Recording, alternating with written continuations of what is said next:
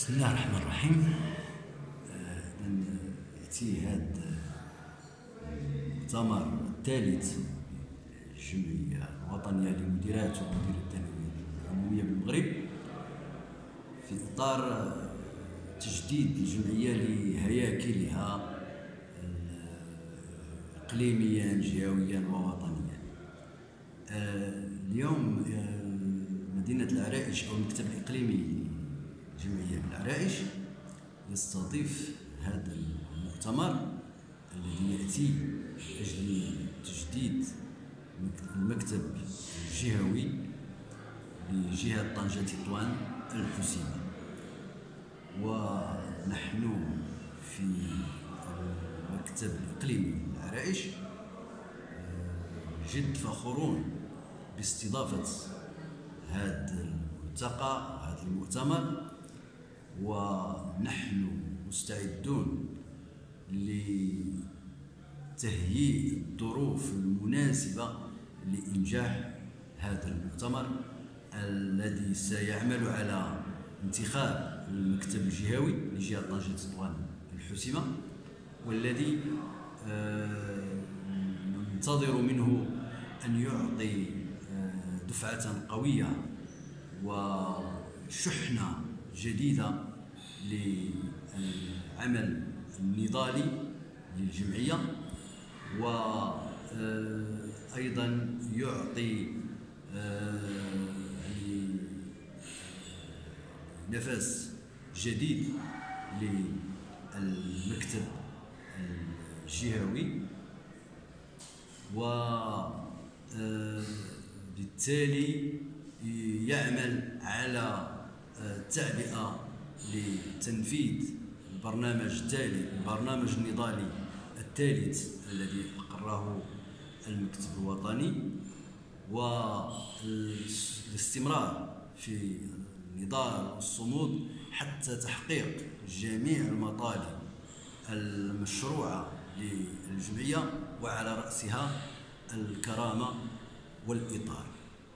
نعم يعني من الإدارة التربوية هو يعني على مستوى الإطار القانوني إطار القانون الجديد اللي كي يعني نظم هذه الإدارة. يعني بالنسبة لكم أنتم ك يعني كجمعيه يعني كتهتم بالمشاكل يعني الظروف اللي كيعيش فيها إدارة سواء من ناحية التضييق على يعني العمل النقابي أو على كذلك على يعني الوضعية الوضعية الإدارية مثلا ديال الفئة من حيث التفييق ومن حيث التفتيت ديال ديال الإطار ديال هذا بالنسبة لكم نتوما شنو الموقف ديالكم من هذه الوضعية اللي كيعيشها يعني تعيشها الإدارة التربوية؟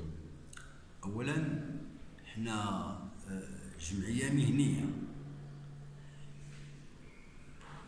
نناضل من أجل تحسين ظروف العمل اطار الإدارة التربوية. ونستعين في ذلك بالنقابات نحن داخل الجمعية ناضل من أجل تحقيق هذه المطالب. وخارج الجمعية نحن كأطر آه، منخرطة في العمل النقابي.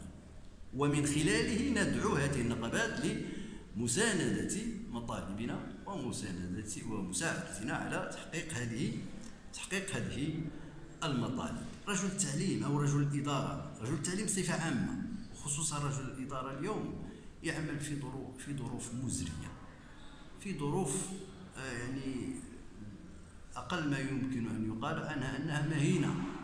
ف لا زلنا نعمل ب في ظروف يعني في في في إطار النقص المهول في الموارد البشرية.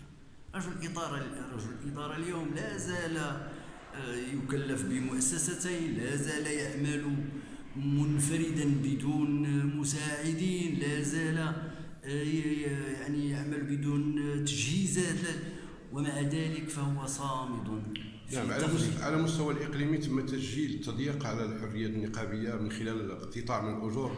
بعد خوض هذه الفئة يعني الاداره التربويه لاضراب يعني تنفيذ المطالب يعني بالنسبة لكم أنتم شنو شنو يمكن يعني شنو التطورات ديال هذا الموضوع؟ على بالاخص أن المديريه الإقليمية قامت يعني بإشعارات بالاقتطاع.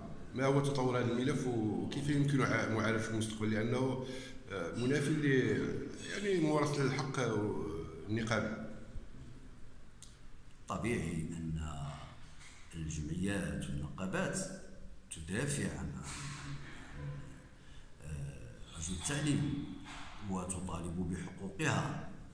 فهذا هذا أمر داخلي هم الجمعيات وهم النقابات. نحن نطالب بحقوقنا ونختار الأشكال النضالية المناسبة لتحقيق هذه الحقوق.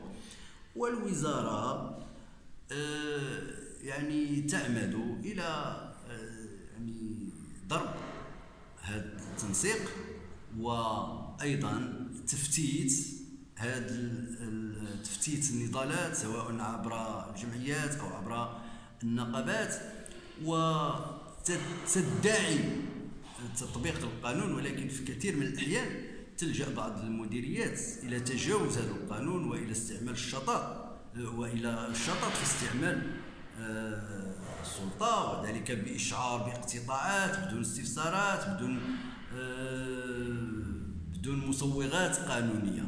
ونحن في الجمعية نرد بالوسائل القانونية وبكل هدوء نرد وإذا إذا أرادت أن تقتطع فلا ذلك. ونحن مستمر لن يخيفنا لا اقتطاع ولا تهديد ولا أي شيء.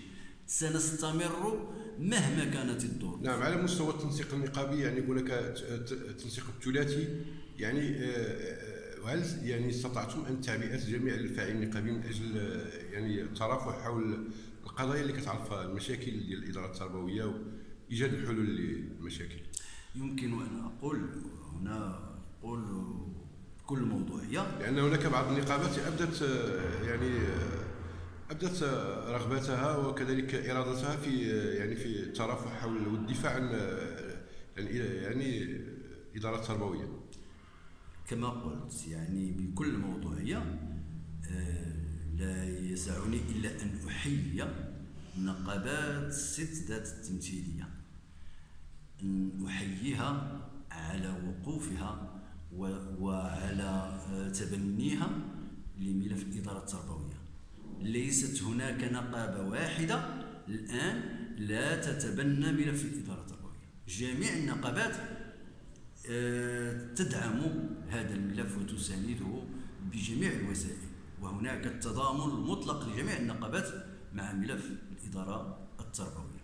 وسنستمر في هذا التنسيق وفي هذا الدعم وفي هذا الصمود حتى تحقيق جميع المطالب لا يرهبنا ولا يخيفنا أي شيء لا الاقتطاعات ولا الاستفسارات ولا أي شيء من هذه الأشياء. وسنستمر وإنها لمعركة مستمرة ولا ونحن كذلك مستمرون في النضال حتى تحقيق جميع المطالب المشروعة. والشكر